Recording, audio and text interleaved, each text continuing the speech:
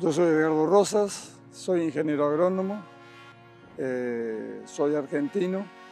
Hace 27 años que fui a vivir a Bolivia, en donde hemos desarrollado una actividad este, agrícola y ahora ganadera.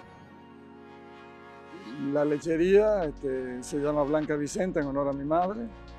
Eh, tenemos en este momento 800 vacas en ordeña, pensamos crecer a 1500 y hembras totales tenemos 2.200 hembras, entre chicos, grandes, de todos los tamaños.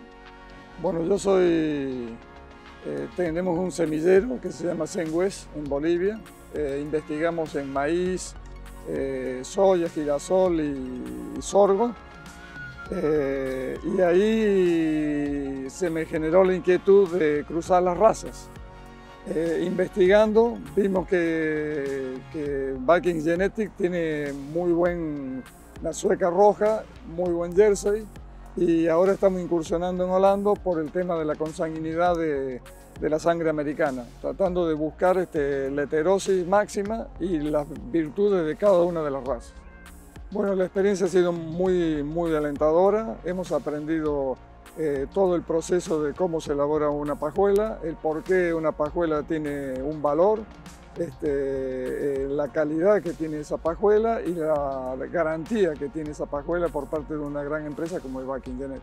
en la visita hemos visto animales, hemos visto toros de la raza Jersey, eh, Luxury, que es un toro que he comprado, hemos visto de la sueca roja, hemos visto a, a Besti y quedé asombrado con una raza que no conocía, que es la Denis Blue, que realmente espero llevar esta campaña para hacer pruebas de cruzamiento con Brahman y Nelore que, que tenemos en, en, Bolivia. Eh, como raza en la lechería manejamos Holando, Sueca, Jersey. O sea, esas son las cruzas que las manejamos en, 50% eh, eh, cuando inseminamos y nos queda 25 y 25 de, de las otras dos. Pero permanentemente vamos teniendo el, el, 50% que, que, vamos a terminar, llamémosle, eh, con un 33% de cada uno. Esto, o sea que es, un, en, una inseminación continua. la que tiene Holando Jersey se, se le pone sueca, a la hija de esa se le pone Holando, a la hija de esa se le pone Jersey. No usamos todo, todo semen sexado porque eso nos da la posibilidad de seleccionar este, mejor nuestras vaquillas y eh, usamos el mejor semen para todas nuestras terneras de primer parto. Ya para segundo o tercer parto este, usamos quizás este, un, semen de menor calidad.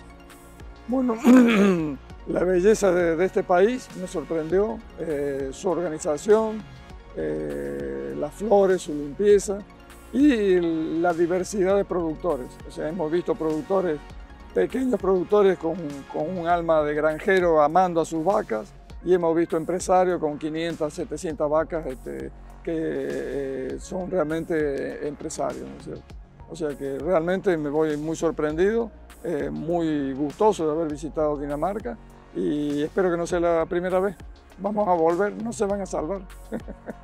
Yo eh, estaba investigando todo el tema de eh, la cama de las vacas. Este, aparte de ver la parte de genética, quería ver la mejor cama de las vacas. Y bueno, estamos todavía investigando eh, para ver este, qué podemos hacer en, una instalación nueva que vamos a poner.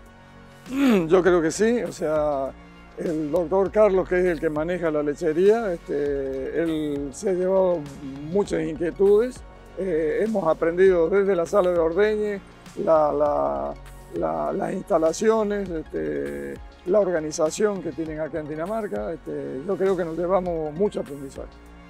Bueno, yo creo que siempre se aprende cuando uno, uno este, ve cosas nuevas, pero yo creo que el desarrollo de Dinamarca es muy bueno.